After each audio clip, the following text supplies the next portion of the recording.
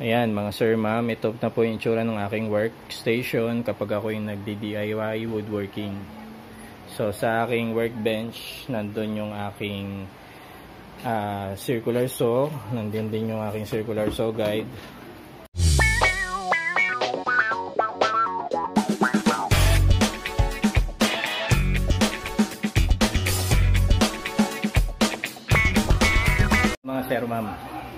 Uh, welcome sa aming bahay. Dito tayo sa harapan ng aking mumunting bahay. So, pakita ko sa inyo kung saan ako gumagawa. Ayan, ayan lang yung space ko. So, medyo maliit lang. No? Maliit lang yung lugar namin. Ayan. So, ito yung unang project ko na ginawa. Ito yung ating tinatawag na workbench. So, dito tayo naglalagari, dito tayo nagpupok. No? Dito nagdidikit ng wood glue. So, anything. So, ayan yung aking workbench. Then, made, made from 2x4 na kahoy ang ginawa natin. Then, uh, plywood lang. Marine plywood. Tapos, gumamit ako ng mga screws sa mga joints niya no? Kung paano siya pinagdungtong-dungtong. Sa ilalim meron ding tayong lagayan. So yan. Plywood din yan. Yan plywood din yan nasa ilalim. So ito. Ito pala no? Ito. Dito ko nilalagay yung aking yung aking circular saw guide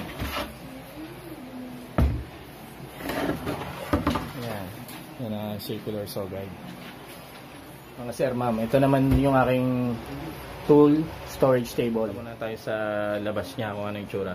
So itong mga board dito sa likod, lagayan ko ng ano yan, ng mga drill.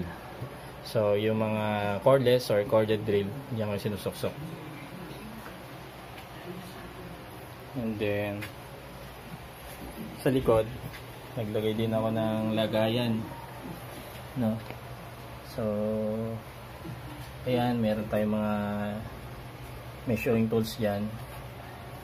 Then uh, kutsara. Ano ba so electrical. Kung mga iba dito ko na lang din nilalagay. Uh, steel brush. Um, cheese swiss pako yan pako yan. And then yan mga barniz uh, thinner. Yan nilalagay ko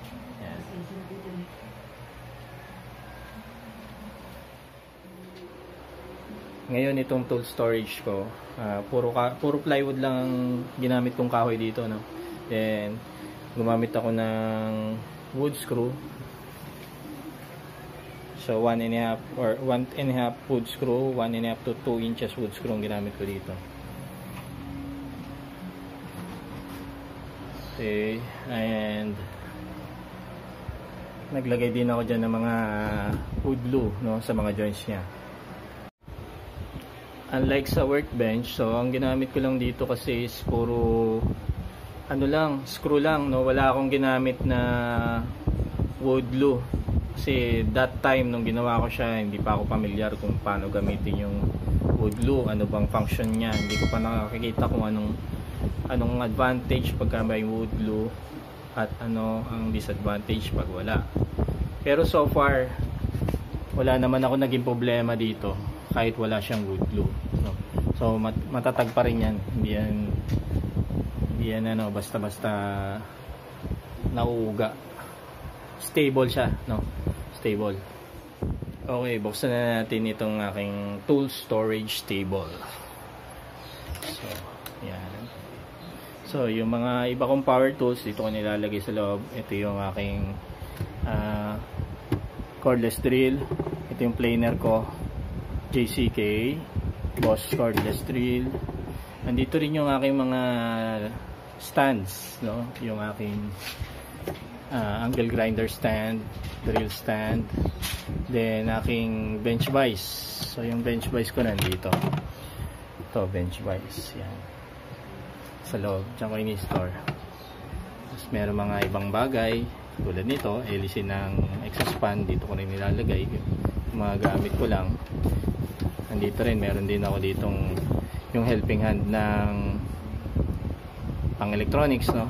Helping hand pag nangiinang uh, yan soldering iron tsaka yung stand nya stick well yan. Mga clamps clamps. Okay. then sige close na muna natin. Then buksan natin yung drawer sa ilalim. Medyo damage na yan no pero functionality wise wala akong naging problema dito sa ginawa ko. Okay so ito yung aking medyo mabigat lang siya kasi maraming laman. Yan. Yan so ito yung aking organizer. So dito mo makikita yung mga mga pakok screw na ginagamit ko. Yan, screw tocks so mahirap kasi pag walang organizer. Kung saan lang nakasupot. Tapos hindi naman kasya sa toolbox. Dahil marami. So ito mga karaniwang pyesa to sa ano eh sa kabilang side. Ayan karaniwan ibang pyesa na yan no? mga wire uh, capacitors dyan ko nilalagay. So anything na maliliit ko nilalagay sa organizer. Yan. Tapos dito ano lang naglagay lang ako ng compartment na ano uh, mapaglalagyan ng mga iba pang gamit.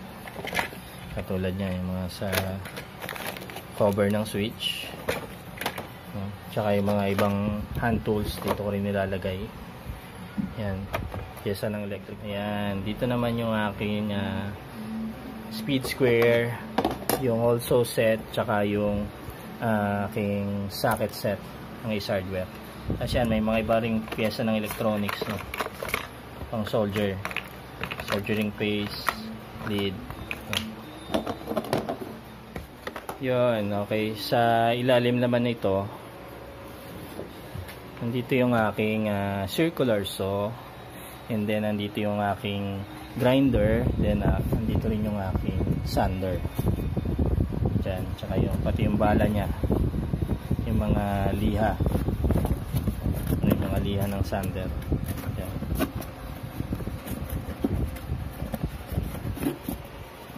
dito naglagay pa ako ng uh, compartment yan. So ano-ano na lang yung mga bagay din na kailangan kong uh, iwalay. No? iwalay ng iwalay sa, sa loob ng bahay no? Mga bakal-bakal aluminum dyan mga adhesive tape adhesive wallpaper andyan din. Ang nylon strips dyan ko rin nilalagay. Yan sir so close na natin sir, mga ma'am, ito yung aking uh, tool storage table. So, ginawa ko siyang pantay nung aking workbench. So, para makatulong siya kapag ako yung naglalagari no, gumagamit ng circular saw para maiwasan natin yung kickback. So, yung sumasalo dun sa kabilang part ng plywood na ating nilalagay. So, punta ulit tayo dito sa aking ano sa aking uh, workbench. So, sa gilid. So, pakita ko lang sa inyo. Ko muna yung aking. So, yung tool storage table ko pala, ginawa ko siyang merong gulong. So, dahil mabigat siya, so, para madali ko lang siyang i-move, so, nilagyan ko siya ng gulong. So, i-move lang muna natin para makita. Ito, ito sa gilid. Diyan ko diyan ko nilalagay yung aking mga clamps. So, meron akong dalawang quick grip na Irwin. Ito ang blue. Ito ay Lotus naman. Lotus uh, quick grip clamp. Then, meron akong C-clamp na 5 inches. Dalawa. Ito yung pinaka first clamp ko actually. Hindi pa ako nag-start mag DIY woodworking. Meron na ako nitong clamp na to. So, yung C clamp ko naman, oh, yung F clamp ko pala yun, nakasabit dito. Doon, sa dulo. Kita nyo ba yan? Nakasabit sa ano. Yung F clamp ko. Mga sir, mga ma'am. Yan, F clamp. So, ginagamit yan. Nagagamit yan pag nag-assemble tayo ng nagano tayo, no? nagduduktong tayo ng mga cabinet. Nag-screw ng mga joints ng cabinet. F-lamp. So, may dalawa rin akong F-lamp. Okay, bukod dyan, bukod sa aking uh, tool storage table at saka sa aking workbench. So, meron din tayong toolbox, syempre. Hindi mawawala yung toolbox. Ayan. Tapos, yung mga iba kong power tools kasi na meron naman siyang hard case, hindi ko na nilagay doon sa aking tool storage table. Oh, karaniwang nilalagay ko dyan is yung mga karton lang, yung de-karton lang na power tool natin, katulad ng circular saw, grinder. Okay, ito yung aking toolbox. So, normally nasa loob lang ng bahay ito. Kasi basic, mga basic uh, hand tools natin kailangan sa loob ng bahay. So, nandyan lahat yan sa toolbox ko. Then, ito yung aking uh, cordless drill. Then ito uh, yung, yung aking corded boss drill. Ito yung corded din siya. Then ito yung aking jigsaw. Yan. So, yan lahat, lahat yung nagagamit ko sa DIY work ko, no? DIY woodworking. Yan. Ayun mga sir, so papakita ko sa inyo kung paano yung setup ko kapag uh, nag-woodworking na ako, no? Paano yung setup ng mga bagay dito sa table ko sa workbench ko at saka dito sa tool, tool storage table ko. Okay. Let's go.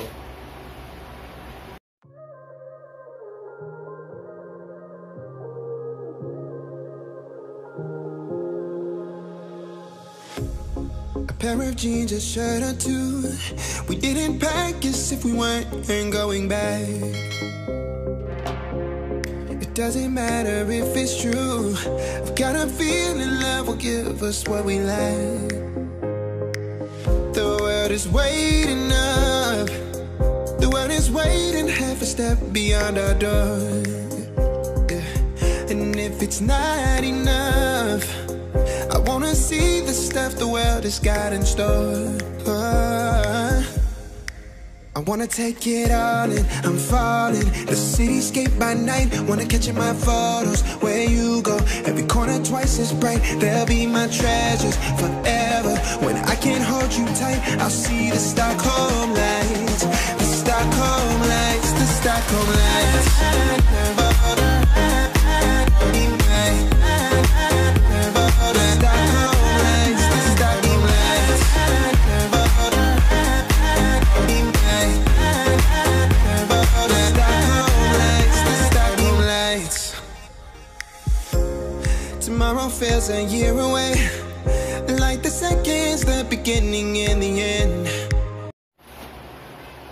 sir, mga ma'am, na-set up ko na yung aking uh, workstation. So ganyan normally ang itsura niya. So okay, di ba? So tignan natin, closer look. Ayan mga sir, ma'am, ito na po yung itsura ng aking workstation kapag ako yung nagdi-DIY woodworking. So, sa aking workbench, nandun yung aking uh, circular saw. Nandun din yung aking circular saw guide. Yan.